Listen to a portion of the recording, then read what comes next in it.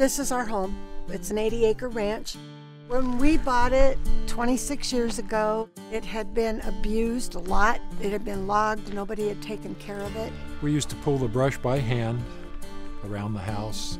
But you know, 80 acres, you can't do it all. Our greatest fear was a crown fire. That ladder fuel go up and set that tree on fire and then it hit the tops of the trees, you're done. From a fire perspective, it's very important for these private landowners to feel secure.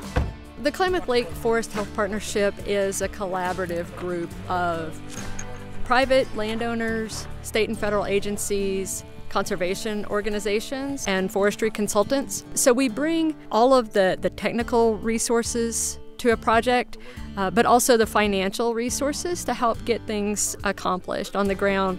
We're able to come in in a non regulatory role to work with them to make sure that not only are we meeting the landscape objectives for forest health, but also a landowner's goals for management of their property.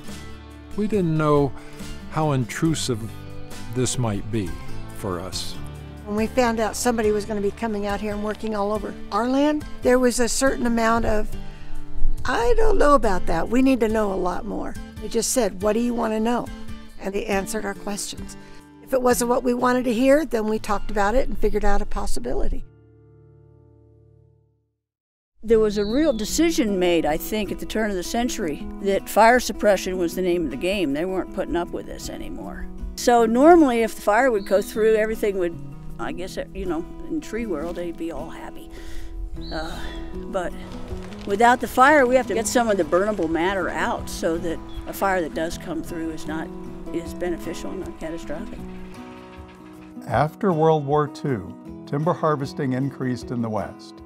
Large trees were removed, opening up the forest for even more small trees and shrubs to grow densely because of the lack of natural fire due to fire suppression. Because trees are growing so close together, and tree species, sizes, and ages are so similar across large areas, fires not only move easily from acre to acre, but so do disease and insect outbreaks, which are now killing trees or reducing the vitality of really large sections of forest. It's like getting in a room that has a limited air supply, and with five people in that room, you're okay. But if I were to put a thousand people in that room, uh, we'd, we'd all get stressed out, and some of us wouldn't make it. Well, the same thing with this forest. Fire is an important element in these ecosystems, but when you have that massive amount of biomass uh, and dead fuel, it, it does more harm than good.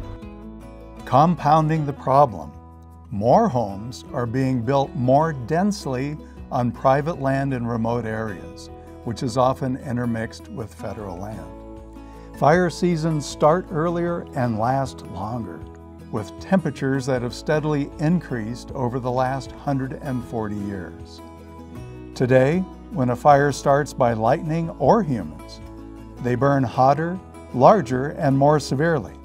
This is why we all need to be working together through partnerships to manage for healthier forests and watersheds through thinning and prescribed fire at a scale that can truly make a difference.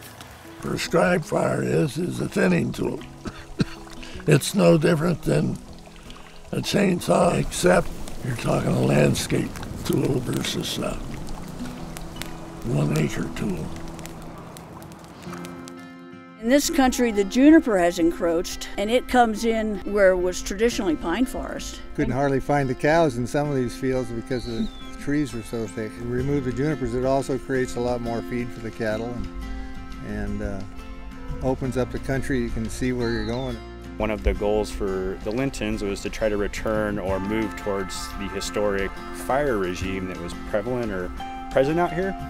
They were on board and wanted to move forward with burning, but one of the concerns was the Forest Service piece that was directly adjacent to them. But if it went onto the Forest Service side, it would torch out a bunch of trees and cause a lot of issues. And so through this partnership, I was able to take that feedback. The Forest Service then went and identified and looked at their side of the fence and realized that they could do treatment. Now this whole area can be cross-boundary burned, which will benefit the Lintons and it will benefit the Forest Service.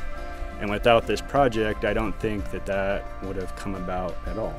Shared stewardship is really the recognition that wildfire does not know ownership boundaries. And so, uh, federal, state, universities, and then our local nonprofits and private landowners need to be working together to reduce the risk of wildfire. And the Klamath Lake Forest Health Partnership is really a leader in putting it into practice. So we work with the landowners to map their forest and fire risk at pretty much no cost or obligation to them. And we can provide information about the condition of the forest, of their forest, and the recommendations on how to reduce their wildfire risk. And also discuss treatment options best suited for your property management, your goals, and the landscape that you live on. These are ranchers that are managing their lands. We've got timber that's coming off these lands. These are, you know, working landscapes that that are important to the community and important to the economics of these rural small towns. We were hesitant because of we didn't want an intrusion and things to get out of our, our control. And I don't I, I feel we've had control over this process from start to finish. They had suggestions, they had knowledge, they had expertise. But if we didn't want that, it was whatever we wanted done with our property.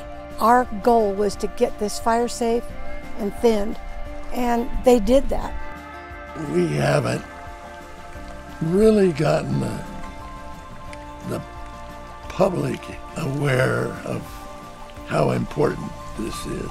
We've been spending a lot of time and effort. We've been doing a lot of good work here, but we're not done, and we want to keep maintaining that investment. Managing for a healthy forest is managing for the health of the economy and health of the culture, health of the, the community, health of the society. Everyone wins in this.